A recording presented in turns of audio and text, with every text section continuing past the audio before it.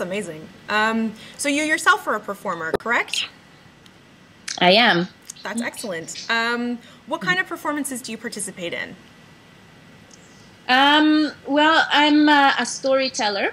Um, I take uh, stories from my Greenlandic tradition and stories from contemporary Inuit, um, like the, our lives, my life, and uh, tell them mm-hmm. in my own way. And I'm also a, a poet, and I'm also uh, a mask dancer. Mm-hmm. And this is a, a um, a, a, type of uh, clown act that is um, a very big part of Greenlandic culture.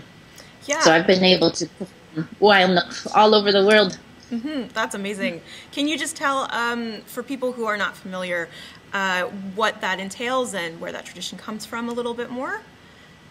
Sure. So, uh, is one of those uh, traditional performances that I spoke of earlier that, that had to go underground during the colonial era. Mm-hmm. And uh, what happened in Greenland is that um, Greenland was colonized by Denmark and by the Lutheran Church. And um, excuse me. It's okay. um, so uh, there was an awful lot that was lost mm-hmm. during this this period of time, but uh, there was an awful lot that was kept uh, very dear to people uh, and uh, out of sight from, from the missionaries and from the colonial um, administrators. So uaajeerneq was one of these things that was kept a secret, uh, mostly on the east side of Greenland. Mm-hmm. And from the 1950s to the 1970s there was this huge political movement that was totally tied in with, with the folk music and uh, and um, bringing back uh, performance like this. So uaajeerneq was really, um, really, really taken by the uh, Greenlandic National Theatre Company to be the cornerstone of, of Greenlandic performance. Mm-hmm. And so in traditional times, it was performed uh, usually in the middle of the winter, like now, when people come together in those uh, performance halls. And um, they would jump out and scare people, and um, it would be like the beginning of a party. Okay. But uh, now Oil is performed, you know, any at any special occasion whenever we're asked to, or whenever it feels right to to jump out and scare people. um, that sounds like quite a party. So. yeah, it's, it's raucous. yeah, I'm sure. Uh, so uaajeerneq is in, uh, basically a, a, clown act, mm-hmm. uh, and it's uh, very interactive with, with the audience um, and it really depends on um, the audience reacting naturally to to how how the dancers are very in their face and mm. funny looking and scary looking and and very sexually evocative as well. So there are those three themes in the dance. Um, it's a very funny dance, it's a very scary dance, and it's also a very sexual dance. Um, so it teaches children and adults alike about all sorts of different dimensions of, of humanity. Like it's a safe setting for children to learn about fear, mm-hmm. which is a very important part of, um, of daily life on the Arctic. You have to know how to quell your panic to be able to um, operate safely and, and uh, soundly, right? Like yeah. if you're in a kayak and the waves are getting higher, you if you panic, you might just tip over and drown, or if you come across a dangerous animal, if you panic, you won't know what to do. So uaajeerneq really teaches people how to deal with that. Mm-hmm. And uh, I mean, clowns, of course, are funny. So and everybody loves funniness, so it's a very important part of the dance as well. Mm-hmm. But uh, the the sexual aspects of it um, are very apparent on on the mask itself, where somewhere on the mask dancer's face there's uh, streaks of red, mm-hmm. and those are symbolic of, of female genitalia. Oh. And uh, there's a stick or some bulges that go into the, the dancer's cheeks, mm-hmm. and those are uh, male genitalia. So it's well, as I keep saying, it's it's on my face to be very sexual. Yeah, and it's because the the dance challenges people to see where their own boundaries are mm-hmm. and where other people's boundaries are and how to be more inclusive and, and to see that sexuality is is on a continuum that men have something female about them, that women have something male about them, and that everybody has some kind of um, expression of this that is not stable. Yeah, that's amazing. So you said that this um, mm. was traditionally a Greenlandic dance. Uh, and you now live in. Iqaluit. Um, how have people in Nunavut and other parts of the Arctic reacted to uh, that tradition and your dancing?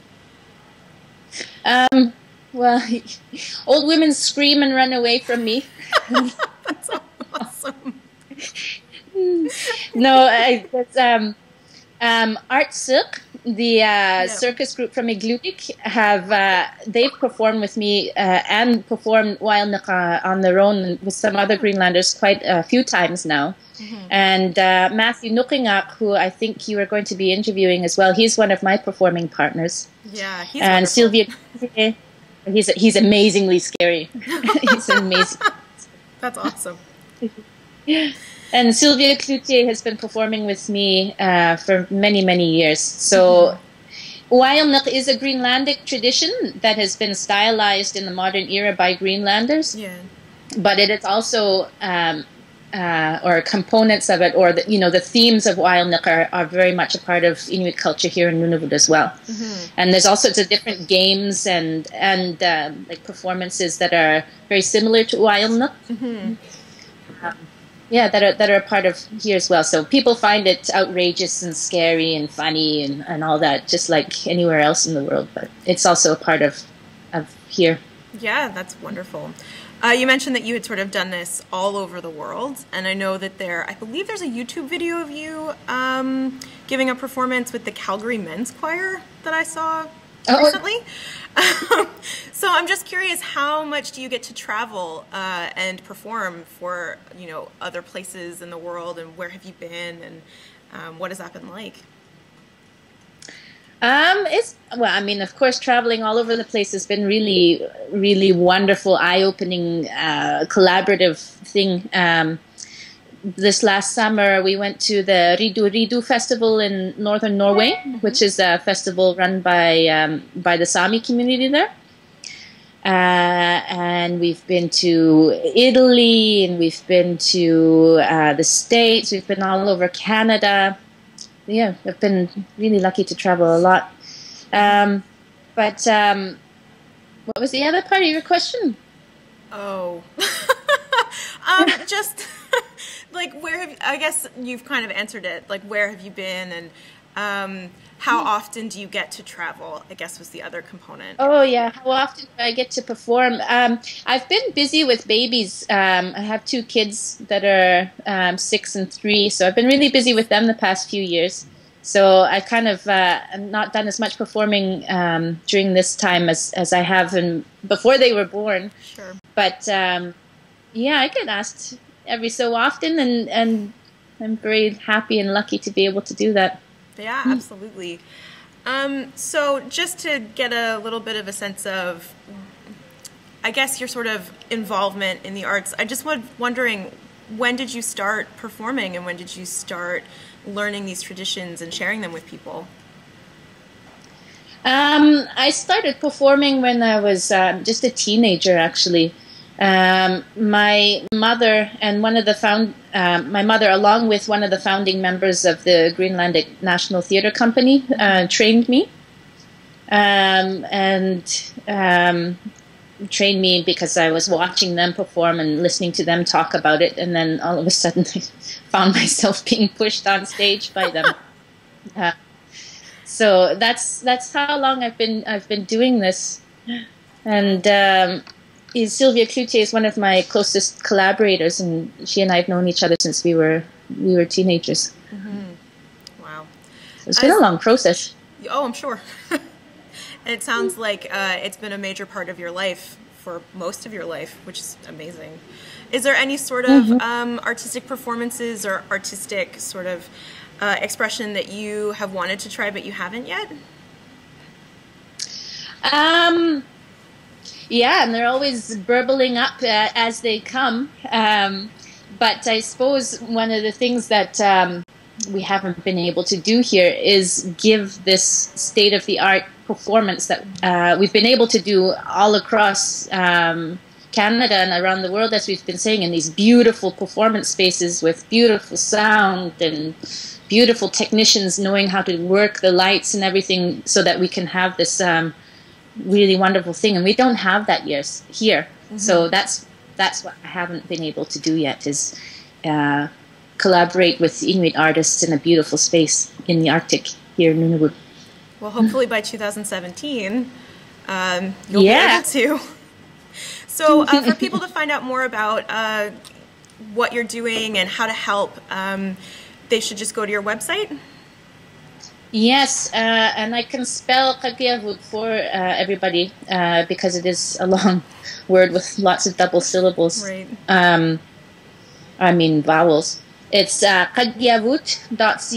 and that is Q A G G I A V U U T. Qaggiavvut.ca. And we're going to be putting that in the notes underneath the YouTube uh, video. So anyone Excellent. who's interested, just look below the video on your screen. Thank you so much. Yep.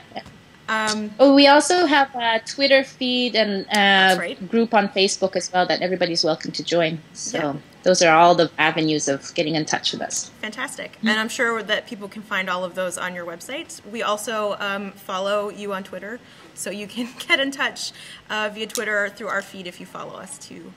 Uh, so thank you so much for taking the time to share this with me and with everyone else who's going to be watching. Uh, really appreciated it. Oh, this is a really wonderful idea, and I'm really glad that even though the Arctic is a difficult place to get to um, because it costs so much and all those kind of things, that we're able to connect on, on Skype, and I really hope that we keep in touch. You're doing yeah. a great thing. Thank you so much. And we'll definitely be checking in later to see how your progress is going and um, to hopefully talk to some more performing artists in Nunavut. So, absolutely. Yeah, fantastic.